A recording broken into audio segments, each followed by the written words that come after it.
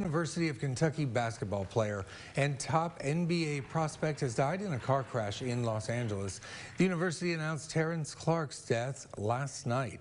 According to Los Angeles police, Clarke was driving at a high rate of speed and ran a red light, colliding with another vehicle. Clarke was later pronounced dead at a hospital. The 19-year-old declared for the NBA draft in March after playing in just eight games for Kentucky this season due to an ankle injury. Several of his former teammates took to social media last night, posting condolence messages.